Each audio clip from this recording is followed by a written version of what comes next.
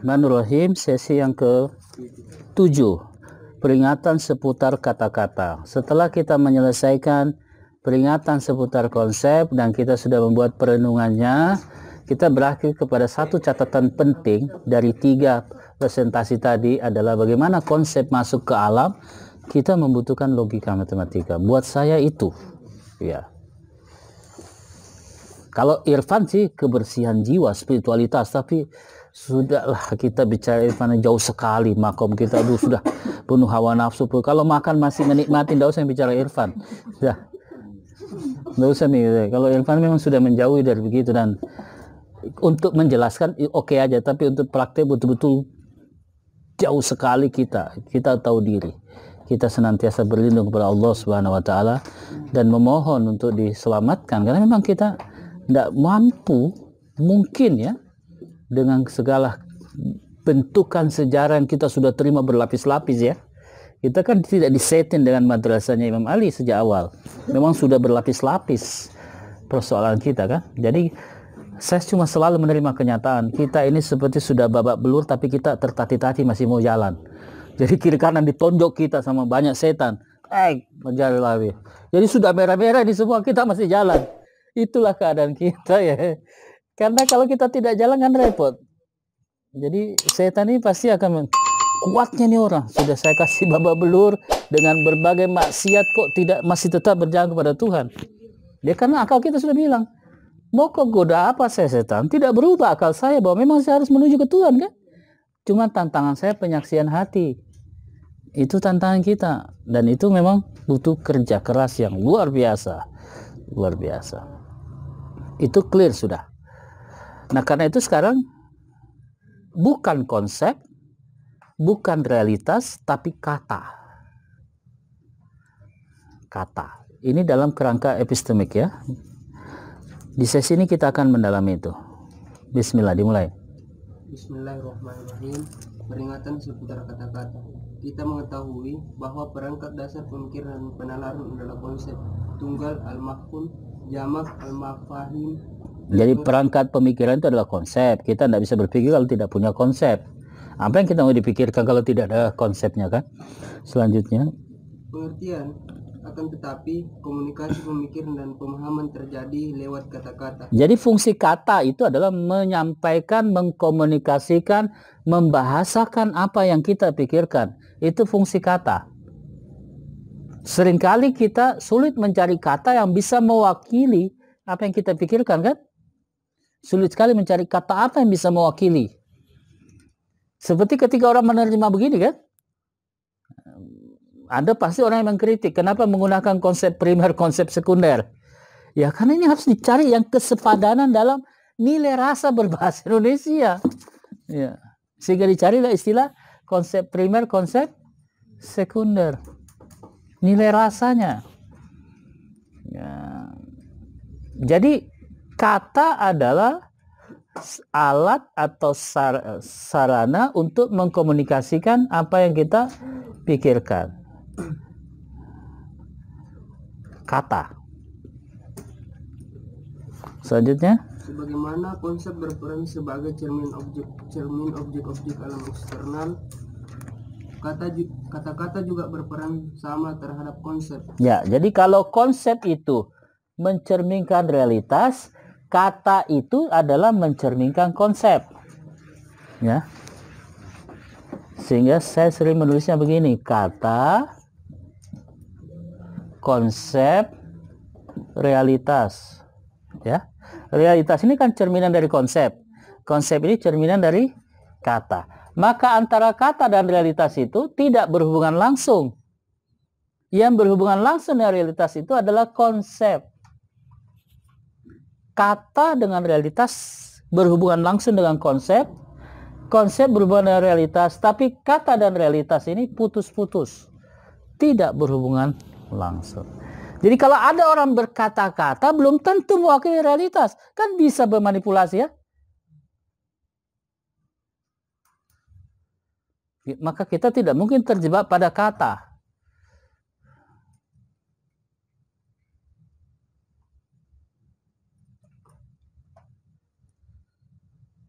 Karena dia terputus. kata tidak berlangs berhubungan langsung dengan realitas. Kata itu nanti dipakai sebagai cara untuk menjelaskan konsep. Maka hubungan kata dengan konsep sama dengan hubungan konsep dengan realitas. Tapi hubungan kata dengan realitas ini yang patut kita renungi. Ini tidak berhubungan secara langsung. Maka kata Tuhan belum tentu yang dimaksud realitas Tuhan. Udah sering yang kita bahas ya. Sudah sering itu saya kira. Yang penting perenungannya adalah kata tidak berhubungan langsung dengan realitas. Maka persambungan kata dan realitas, persambungannya konsep. Maka penting ini ketiga konsep. Konsep mahia, konsep logika, saya urutkan sekarang sesuai dengan strukturnya ya. Kalau yang dipenjelasan logika, mahia, dan filsafat. Sekarang karena sudah struktur kita sebut, kalau saya mengatakan urutannya, pertama mahia, logika, dan filsafat. Teman-teman sudah ngerti kan? Kalau di buku kan logika, mahia, dan filsafat. Tapi urutan strukturnya yang sini saya pakai mahia, logika, dan filsafat. Ini konsep.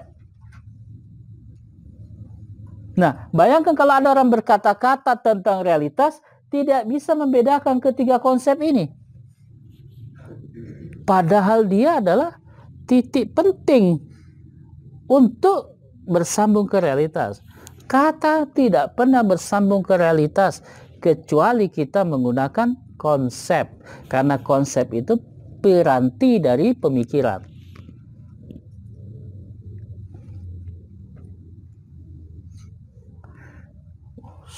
Sudah sering kali saya bahaskan ya kita berkata tentang sesuatu, belum tentu kata itu yang dikonsepsikan sama antara kita dengan seseorang.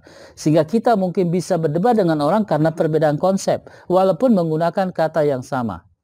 Itu kemudian disebut istilah lafz. Kata yang sama bisa beda artinya. Kenapa? Karena konsepnya berbeda.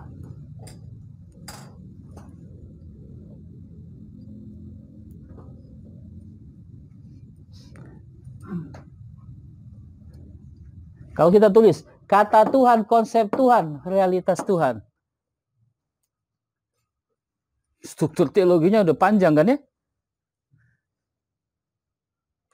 Bagaimana sambungnya konsep ke realitas? Di situ ada akal ke hati. Di sini hanya akal dan hati. Tidak bisa langsung. Tapi urutannya seperti itu. Oke. Selanjutnya terdapat hubungan erat antara konsep dan kata sehingga beberapa kali lebih cepat muncul kata. Kerap kali. Kerap kali kata lebih cepat muncul saat seseorang berpikir daripada konsep. Ya, jadi kalau ada orang lebih cepat keluar kata-katanya daripada konsepnya itu yang bahaya. Karena langsung dia omongkan belum matang konsepnya. Kan begitu ya? Maka selalu saya bilang perenungan. Perenungkan ya. Supaya ketika kita ngomong itu hasil perenungan. Mungkin saya, eh, mungkin kita termasuk saya tentunya dalam fase kita belajar bisa jadi kita bikin kata-kata tak kancing karena sudah hilang konsepnya. Sehingga kita ngomong muter-muter ngalor ngidul. Karena apa? Kehilangan arah hubungan dengan konsep kan? Bisa terjadi. Atau saya mungkin kalau ngomong sedang mencari apa ya konsep itu saya bisa tersendat juga di situ kan? Di sesi-sesi terakhir teologi itu saya istilah tak kancing. Apa ini konsep ini? Apa yang bisa mewakili katanya? Saya terkancing. Padahal dia punya hubungan langsung kan? Tapi bisa tersendat saya mengerti konsepnya tapi saya mencari kata karena saya memang eh, masing-masing orang tentu punya tipe tidak terlalu senang dengan harfiah sebagaimana teks karena saya selalu mencari juga upaya-upaya untuk merumuskan dengan bahasa yang lain karena kita tidak mau kemudian uh, menjadi orang yang tekstualis ya harfiah saja tapi kita harus mencari uh, sudut pandang yang lain untuk menjelaskan sebuah konsep sehingga bisa dicari kata-kata yang lain. Tentu kita pernah punya pengalaman. Kita putar-putar kata-kata kita karena tidak anu, apa namanya putus hubungan dengan konsep. Bisa kan ya? Akhirnya mau bicara 5 menit jadi 15 menit. Karena putus. Apa namanya? File. Atau sebaliknya, kita punya konsep tapi mencari kata yang mewakili konsep. Prinsipnya, teorinya, kata itu adalah piranti dari konsep. Konsep itu piranti dari apa? Realitas itu piranti dari menggunakan konsep sebagai pirantinya. Pikiran kita maaf menggunakan eh, apa namanya eh, kata-kata untuk mengkomunikasikan apa yang kita sampaikan. Saya ulangi, kata itu sebagai piranti untuk mengkomunikasikan konsep.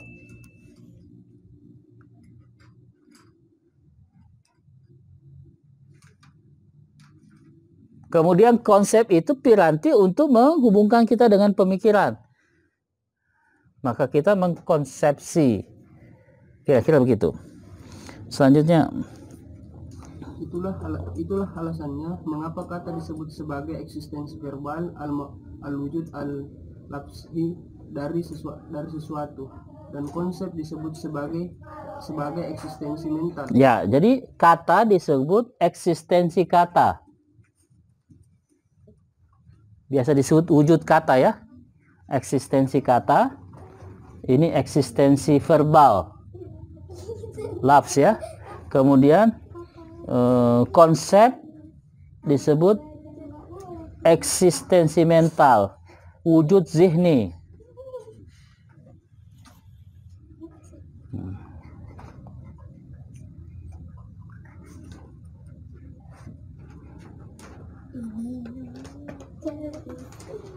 Selanjutnya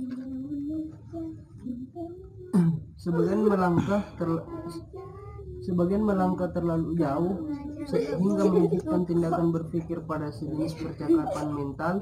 Para pendukung pendapat ini umumnya juga para pembela analisis linguistik dan filsafat analitis analitis yang memandang konsep-konsep filsafat tidak mempunyai realitas di luar. Ya, jadi ada orang menjadikan kegiatan berfilsafat itu sebagai kegiatan mental. Hanya itu. Padahal kegiatan filsafat kan mencari realitas kan. Tapi ada orang istilahnya berwacana. Kegiatan filsafat itu seperti dialog mental. Seperti juga orang berkata-kata. Gitu. Jadi keindahan berbahasa saja kan Kayak orang memiliki kemampuan untuk mengungkapkan kata-kata dengan retorika, dengan bahasa yang indah, kan begitu ya? Ya. Asik dengan itu. Padahal berpikir itu sebuah upaya untuk mencari nilainya kan, untuk mencari realitasnya. Karena berpikir pasti mengandung makna nilai dan nilai itu realis di sini.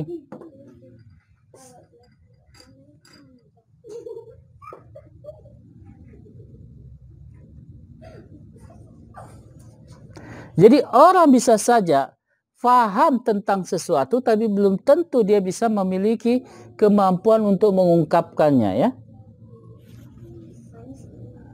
ada orang punya kemampuan menulis dan bagus tapi kalau bicara seperti tidak tidak mewakili apa yang ditulis. Maka kita latih semua kemampuan mengkonsepsi dan kemampuan berkata-kata. Sehingga di Yunani itu ada ilmu retorika kan? Ada buku Ustaz Jalal, saya nggak tahu di mana buku itu. Judulnya Retorika Modern. Itu bagus. Karena memang dulu Sofia itu kelompok pendebat kan ya? Menggunakan retorika. Kan tak tahu itu di Aleppo itu tempatnya itu kan ya? Kayak turun begini ya. Kemudian orang berdialog. Ya.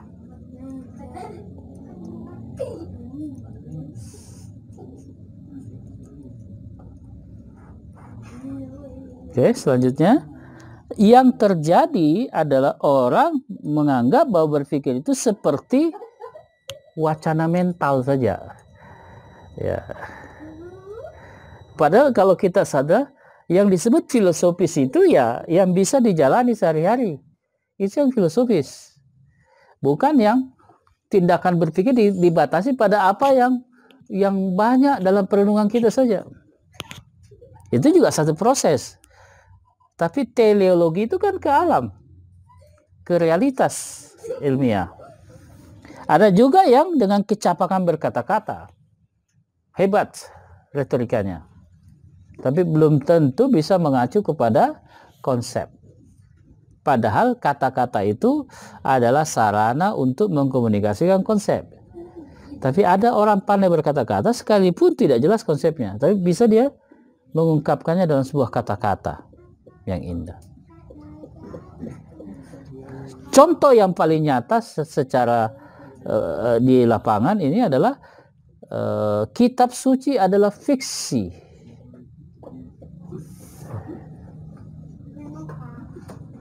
Kenapa saya bilang itu sebatas kata? Karena tidak dijelaskan konsep kitab sucinya apa. Yang dijelaskan cuma konsep fiksi. Itu pun dia jelaskan dengan definisi sendiri. Tapi tidak pernah Rocky Gerung itu menjelaskan kitab suci konsepnya apa.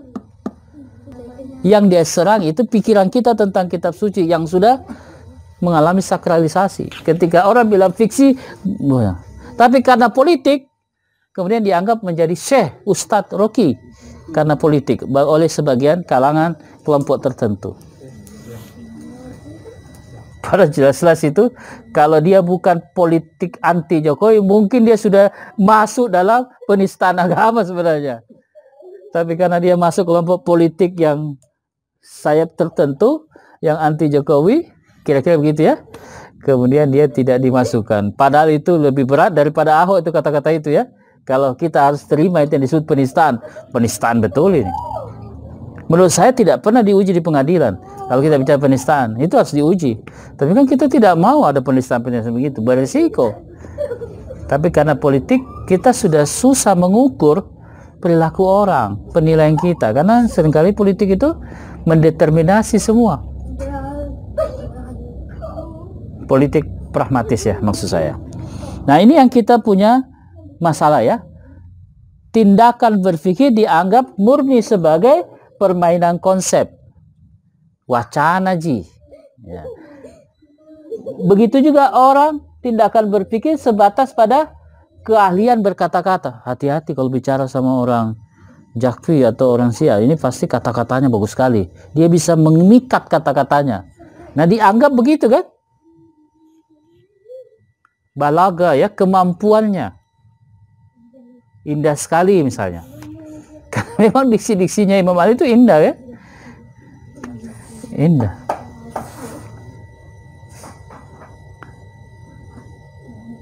Nanti anda dijebak itu. Dan sebagainya. Gitu ya. Jadi yang ditekankan Tuhan Misbah jangan sampai kita anggap bahwa berfilsafat itu sebatas tindakan dalam percakapan mental.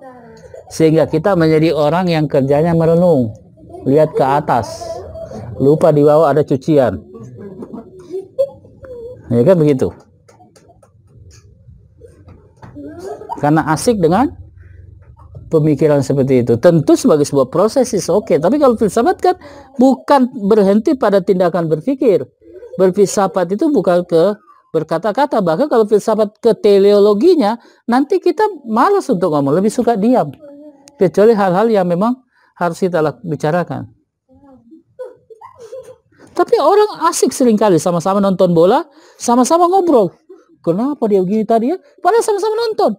Kecuali dia nonton sama orang, bicara sama orang tidak nonton. Tapi ini sama-sama nonton. Selesai nonton dua kali empat lima, lanjut lagi satu kali empat lima untuk diskusinya kembali.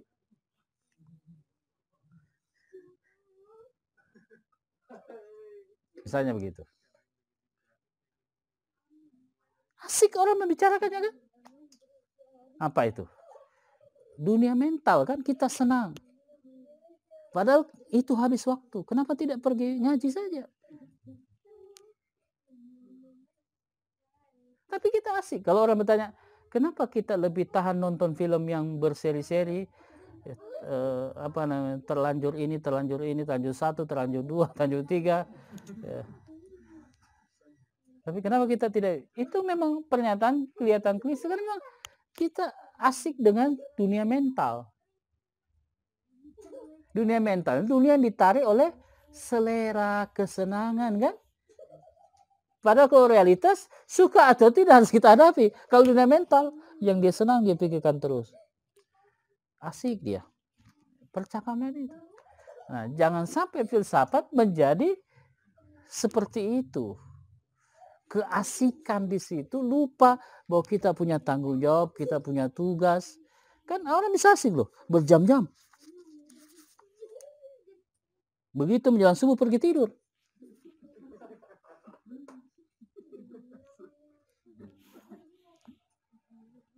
Itu maksudnya begitu. Bahwa tindakan berpikir itu bukan berhenti pada percakapan mental, tapi orang banyak menganggap bahwa berpisah itu yang sudah yang sudah duduk di kamar dan merenung. Enggak. Kita kan masuk kepada kategori katakanlah Gramscian atau urusan fik, aktif. Semakin kita berpikir semakin aktif. Semakin kita berpikir semakin menyayangi tubuh-tubuhan. Semakin kita berpikir semakin bersih tempat kita. Tapi kalau orang berpikir tapi tempatnya kotor, ini yang disebut asik dengan dirinya. Jangan sampai begitu kan ya.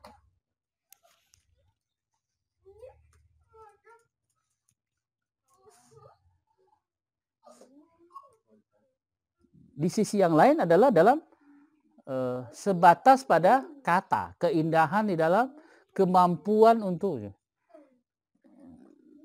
Orang kalau sudah ikut misalnya kalau teman-teman LK1 itu pulang kampung sudah menjadi-jadi ngomongannya di kampung.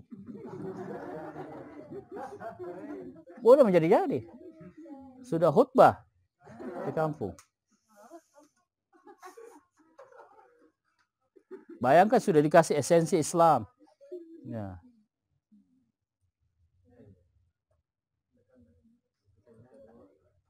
Sudah menjadi-jadi. Orang menikmati pernyataannya, tapi orang belum tentu mengerti konsepnya. Padahal antara kata dan konsep begitu dekat. Kalau konsep dekatnya ke realitas. Nah, resiko percakapan mental menghambat ke realitas. Resiko percakapan kata orang terhambat memahami konsep. Harusnya setiap kata bisa mengacu ke konsep. Karenanya konsep mahia, logika, dan filsafat. Kalau kita hanya menjelaskan filsafat tapi tidak punya konsep logika, apalagi tidak punya konsep mahia, tidak clear itu persoalan. Karena harusnya menjadi utuh kan konsep itu.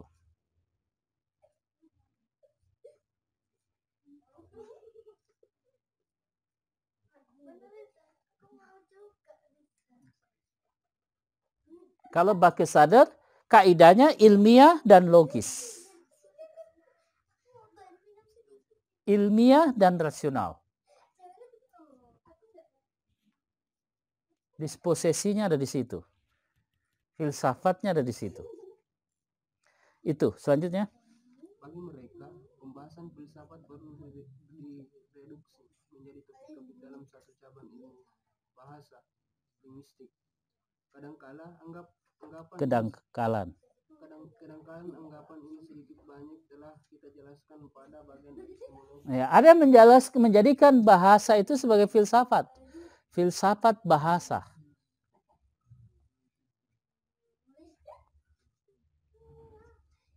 Ini khas di Amerika. Kalau kontinental dia lebih banyak uh, ke konsep. Kalau kata ini banyak ke linguistik. Sehingga orang dan itu betul Rocky Gerung saya kira. Karena orang terjebak diksi hanya pada definisi KBBI. Definisi kata kan itu ya? Kan ada istilah. Nah, Pak Rocky bagus. Dia mendekonstruksi sehingga orang tidak terlalu KBBI mandate.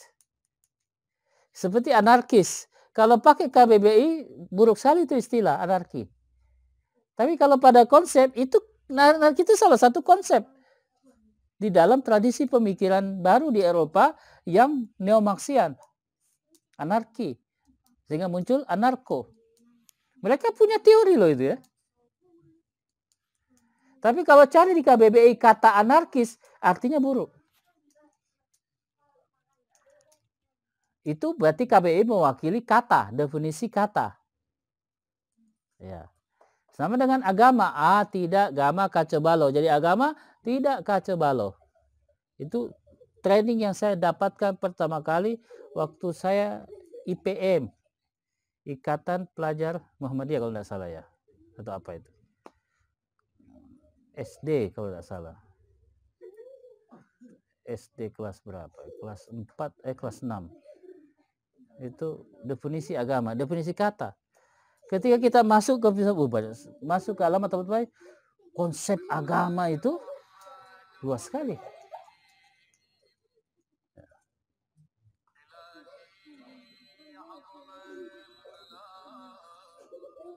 Ya, diterima aja. Tidak apa-apa, diterima aja dulu. Tidak apa-apa.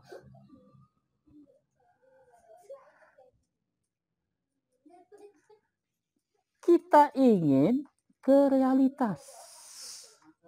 Padahal seputar kata dengan realitas tidak berhubungan langsung ada konsep. Di konsep ada peringatan seputar konsep. Bayangkan kalau konsep ini tidak clear, bagaimana kata bisa disambung oleh konsep ke realitas. Maka ini kan vital sekali nih konsep. Karena kata untuk masuk ke realitas, di sini konsepnya harus jelas.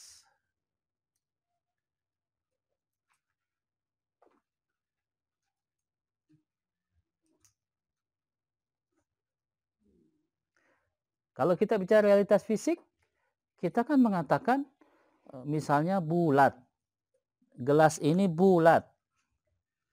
Gelas ini bulat. Bulat itu kan korporeal yang dikaitkan dengan objek fisiknya. Bulat itu korporeal, bukan objek fisik kan? Itu bentuk namanya. Bentuk di luar berhubungan dengan kaca. Bentuk di dalam tidak ada materialnya. Maka itu disebut korporeal kan? Ada fakultas pemisah bentuk.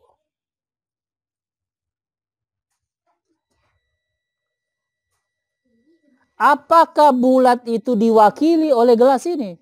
Tidak. Ada juga kata bulat pada misalnya eh, bulan itu bulat, kan ya? Bumi itu bulat. Bulat itu korporeal. Berarti itu sebagai kata tidak mewakili realitasnya. Karena di realitas ada objek fisik, kaca. Maka kita bilang ini apa? Ini kaca. Kalau gelas, apakah itu objek fisiknya atau kaca objek fisik? Gelas itu bentuk kor korporeal. Maka gelas tidak mewakili objek fisik, tidak mewakili. Ini korporeal. Dia sepadan, berkorespondensi tapi tidak merepresentasikan. Karena objek fisiknya adalah kaca. Dengan ciri-ciri seperti ini. Kepadatannya, densitasnya, dan seterusnya.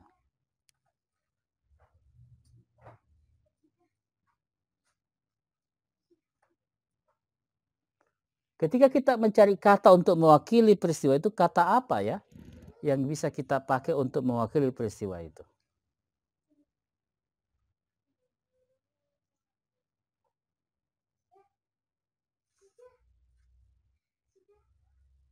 kita bilang ada Reza dan Sajida sedang bermain. Ya. Kamu gitu ya? Mereka sedang bermain.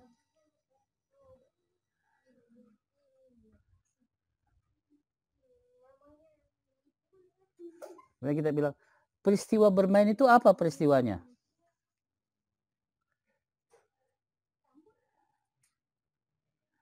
Dia berdiri, dia lari, dan sebagainya. Kenapa kita kaitkan berdiri dan larinya itu dengan bermain? Padahal ada orang berdiri karena pulang, ada orang berlari karena olahraga. Tapi konsepnya dia sedang bermain, bukan olahraga, tapi dia keringat. Dia tidak mengambil konsep olahraga, itu konsepnya main kan ya? Tapi dia keringat. Sebenarnya dia sedang berolahraga atau bermain itu? Anda bisa mengatakan bermain, tapi saya bilang olahraga biar dia keringat.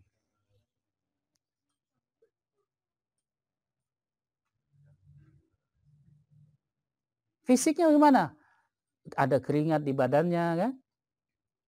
Dia gerak-gerak.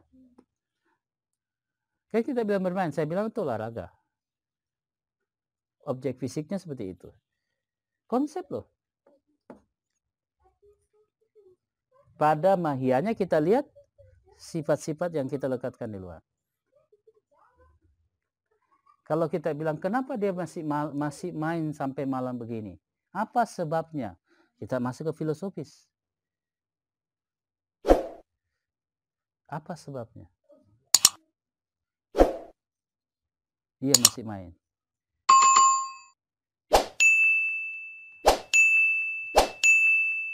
Kalau kita bertanya, dari pagi dia bangun, apakah dia tidak capek? Capek, kenapa dia tidak tidur? Filosofis, kita mencari kenapa dia begitu.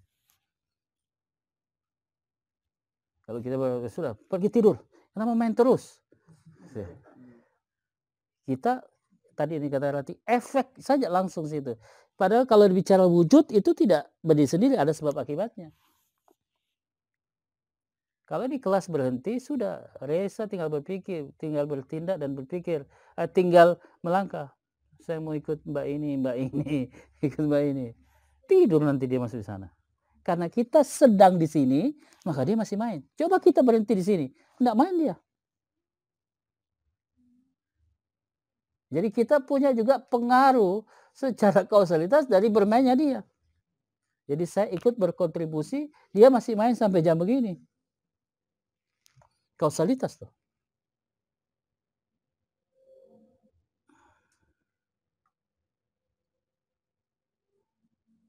Jadi bermain berolahraga, mengisi waktu sambil nunggu Hida atau Mbak Hadijah atau yang lain.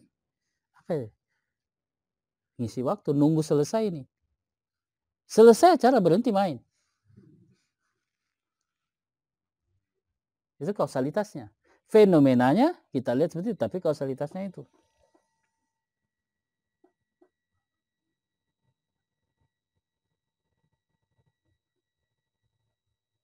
Yang kedua, kenapa dia masih main? Karena ada sajidah. Kalau dia sendiri tidak lari-lari begitu. Pasti dia duduk sini.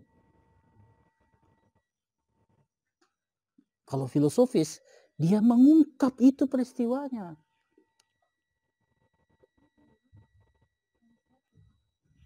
Realitasnya. Tidak bisa diungkap oleh kata-kata loh. Tidak bisa diungkap oleh kata-kata. Memang betul-betul kita perlu konsep untuk memahami sesuatu. Sementara bahasa ini kemampuan berkata-kata. Tapi kita miskin konsep kalau memahami bahasa itu. Miskin, bahkan tumpul konsep kita kalau baca bahasa itu. Tumpul. Tapi kata-kata yang dia punya itu tersedia. Hampir setiap hari dia memproduksi. Tapi untuk saya secara subjektif, tumpul konsep. Mau dengar dia ngomong saja udah nek. Tapi karena kita harus meneliti secara objektif, senek-neknya kita harus dengar. Nek Karena tidak ada definisi, argumentasi, langsung perilaku orang dianalisis. Padahal perilaku itu harus diungkap. Apa sebabnya? Jangan bereaksi. Kenapa Yahya Waloni jadi begitu? Jadi kayak kesetanan. Itu akibat orang-orang yang arif juga tidak mendatangi dia. Ya, Kenapa dia jadi begitu? Kita juga punya kesalahan kan? Seolah semua ditimpakan kepada Yahya Waloni. Karena temannya cuma uh, Abu Somad. Coba kalau yang lain-lain datang mendekati. Itu yang dilakukan Gus Dur. Kepada orang dia benci dia datang ya. Kata tidak bisa mengungkap realitas karena kata tidak nyandak ke konsep filsafat. Walaupun kata-katanya filosofis. Belum tentu dia menggunakan konsep filsafat. Kenapa? Karena dia masuk pemaknaan baca buku. Sehingga dia jelaskan orang dong atau tidak yang penting. Hebat Kandanda lah. Padahal kalau diteruskan kata-kata itu tidak bisa dipertanggungjawabkan secara konsepsi. Karena tidak memenuhi hukum sebab akibat. Lihat fenomena Risa. Kalau kita bisa sebab akibat, Dia tidak berdiri sendiri bermainnya. Nggak bisa.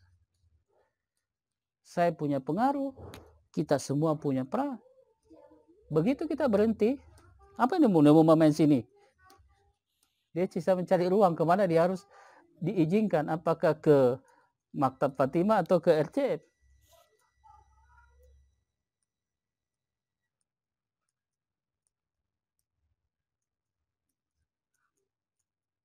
Kata, ingat, tidak bisa mengungkap realitas. Tidak bisa. Jadi kalau ada orang berkata-kata, jangan sepadankan dengan itu yang terjadi. Karena harusnya orang yang berkata-kata itu kita kembali kepada konsep dan harusnya konsep punya kemampuan untuk meni, apa, menjadi dasar untuk penilaian. Tasawur baru tasdik. Nah kata ke realitas, tasawurnya apa? Nah, cuma ada orang dilihat tampilannya maaf Cina, kemudian ngasih dua T, kemudian hebatnya itu orang Cina ya, bisa be. Tapi mengapa dia menyumbang? Apa dasarnya? Nggak ada. Begitu diduga tidak benar, itulah kesalahan komunikasi publik polisi. Begitu ngomongnya larinya semua. Padahal karena kelemahan untuk mengungkapkan apa yang terjadi. Sampai sekarang aja kita tidak tahu. Siapa yang tahu apa yang sebenarnya terjadi itu? Tidak ada. Media memang pindah dari satu isu ke isu yang lain. Berganti terus. Karena tuntutannya bukan mengungkap apa yang terjadi. Tapi mengikuti semua isu. Supaya orang bisa klik Nggak ada edukasi konsepsi ya. Nggak ada. Orang senang kontroversinya saja. Ada yang dapat info. Apa yang sebenarnya terjadi dengan Akiditio ini? Hilang dari peredaran.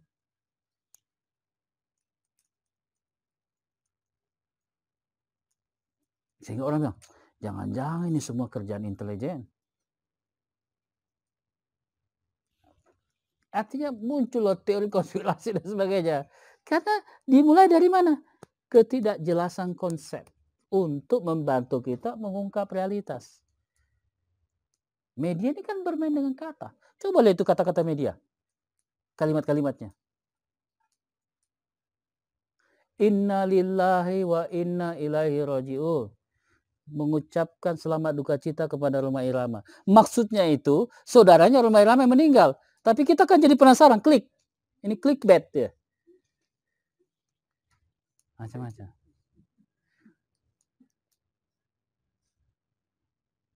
Bikinnya link ini, ini, ini. Apa yang terjadi? Masuk linknya lah biasanya saya tidak baca begitu.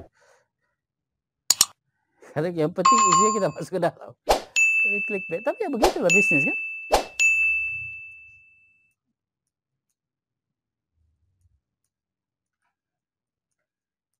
like subscribe saya tidak mau begitu kalau mau like like aja kalau subscribe saya terserah saja. Mau mau like, mau subscribe, terserah saja. Kalau memang pantas ya like, kalau tidak ya usah like. Kenapa kita tidak? Kalau Anda merasa senang like, kalau tidak anukan aja. Uh, un, unlike atau apa. Dan seterusnya. Itu yang bisa kita renungkan ya. Kata yang berhenti sebagai percakapan itu yang terjadi yang kita tonton ini percakapan semua. Belum tentu mengandung konsep yang jelas. Karena kita sering kali bahkan mengalami percakapannya sudah panjang tapi kita tidak pernah jelas konsepnya. Jangankan uh, rasional ilmiah saja kita tidak jelas. Seperti yang dilakukan bahasa kita tidak dapat edukasi. Nggak dapat tuh dari bahasa bahasanya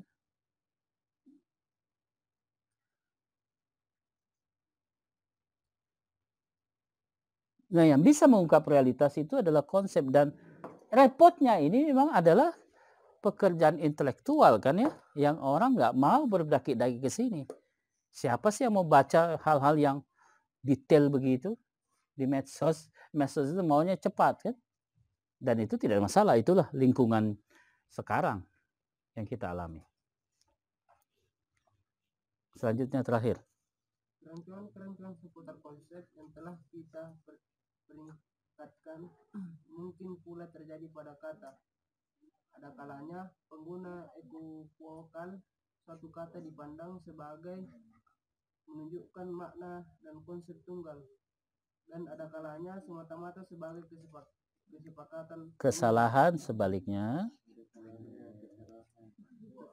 Ada juga oh, ada kalanya kesalahan sebaliknya terjadi ketika kesema, kesemaknaan dipandang semata-mata sebagai kesepakatan apa kesepakatan nominal. Ada kalanya juga orang-orang mencoba memecahkan persoalan filsafat melalui penjelasan ciri-ciri khas kebebasan. Kebahasan acuan dan majaz serta berbagai berbagai gaya bahasa lainnya. Mungkin dia udah biasa jam 9 sudah tidur kan? Kan supaya bangun sholat malam jangan langsung ketawa ya ya sebenarnya karena mau bangun sholat malam dan sebagainya. Atau mau chat saya nggak tahu kan juga bisa juga chat janjian. Ya jam 3 waktu jam 4 waktunya kan jam 5 waktu tengah. Waktu Indonesia Tengah dan seterusnya. Jadi itu yang dikatakan e, dibacakan tadi Rizwan itu menjelaskan kepada kita apa yang disebut equivokasi ya sama kata lain makna seperti kata itu cinta kan menggunakan kata yang sama tapi beda makna beda makna itu berarti konsep kan Padahal kata yang sama. Seperti kata filsafat di barat dan kata filsafat di Yunani. Ini kan equivokasi namanya. Kata yang sama, tapi struktur konsepsi Yunani dengan barat tidak sama. Begitu juga kata filsafat di Descartes dan kata filsafat dengan Immanuel Kant itu equivokasi loh. Sama-sama menggunakan kata filsafat, tapi maknanya tidak sama. Jadi kalau kita bilang filsafat barat, itu equivokasi, tidak sama. Di filsafat Islam equivokasi tidak sama. Sadra, Ibnu Sina kan equivokasi semua. Kata yang sama belum tentu. Sehingga Sadra tidak menggunakan kata filsafat. Dia menggunakan hikmah muta'aliyah. Walaupun sekarang dalam bahasa Indonesia kita sebut filsafat hikmah. Sebenarnya tidak usah pakai kata filsafat. Hikmah saja. Dalam sadrian itu hikmah al-muta'aliyah. Cuma memang akhirnya karena berkomunikasi dengan bahasa yang ada di dunia intelektual disebut filsafat hikmah. Tapi sebenarnya penekanannya al-hikmah karena hikmah itu gabungan filsafat, irfan dan eh, irfan dan teologi.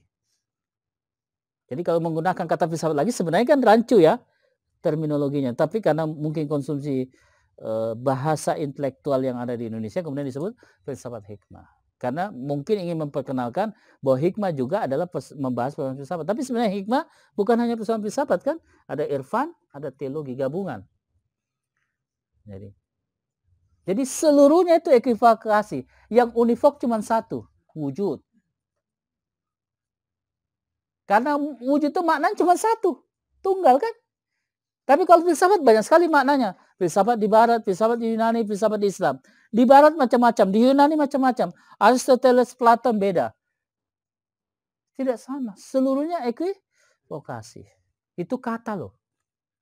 Maka kalau kita belajar filsafat dari kata dari kamus, tidak akan kita dapatkan pelajaran itu. Belajar filsafat itu dari konsep, bukan dari kamus. Kan ada kamus filsafat. Kemudian kita baca itu. Bagaimana? Karena dia tidak menjelaskan struktur, ya hanya daftar istilah kan. Kayak glosarium. Jadi jangan belajar cinta dari kamus cinta, enggak, enggak payuh. Belajar cinta itu konsep, Cinta yang dipahami eros manusia itu sebenarnya adalah cinta ilahiyah. Satu maknanya cinta itu sebenarnya kan Allah Subhanahu wa taala. Cuma termanifestasi dalam cinta orang tua kepada anak, cinta kepada uh, lawan jenis, cinta kepada uh, teman. Tapi sebenarnya sudah maknanya satu eksistensial. Tapi kemudian mengalami gradasi. Tapi kalau tidak dikembalikan kepada eksistensinya, maka semua equivokasi. Maka segi bahasa, ya segi bahasa ini equivokasi. Tidak bisa kita bertumpu pelajaran-pelajaran konsepsi dengan bertumpu pada bahasa. Bahasa harus ditumpu ke konsep.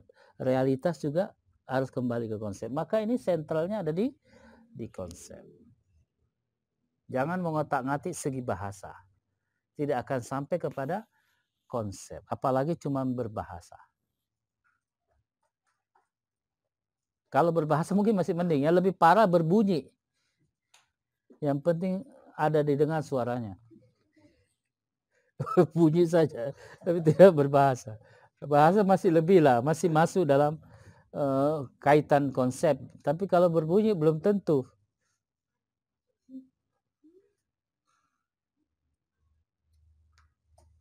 Jadi dua yang kita bisa simpulkan seputar kata sementara ini. Pertama, dia tidak berhubungan langsung dengan realitas.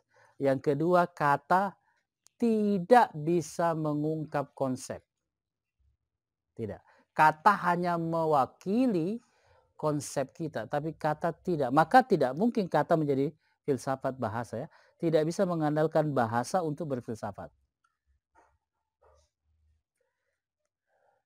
Tapi kita perlu baca e, filsafat dalam berbagai bahasa, bedakan ya. Tapi belum tentu orang bisa membaca Yunani, teks Yunani, belum tentu dia bisa berfilsafat. Ingat? Membaca kata-kata dalam teks-teks itu belum tentu kita berfilsafat. Kata tidak berhubungan, tidak berarti kemudian kita punya kemampuan untuk mengkonsepsi. Justru konsepsilah yang kita bangun dan kemudian dengan konsep itu kita mencari kata. Bukan dari kata ke konsep. Dari konsep ke kata. Begitu juga realitas dari konsep. Maka konsep itu ke kata, konsep itu ke realitas. Konsep. Sama dengan logika ya. Logika ke mahia dan logika ke filsafat. Konsep ini menggunakan kata agar bisa dikomunikasikan, konsep ini kemudian merujuk ke realitas. Jadi yang turun itu konsep. Satu turun ke kata, satu turun ke realitas. Itu yang bisa kita renungkan ya. Assalamualaikum warahmatullahi wabarakatuh.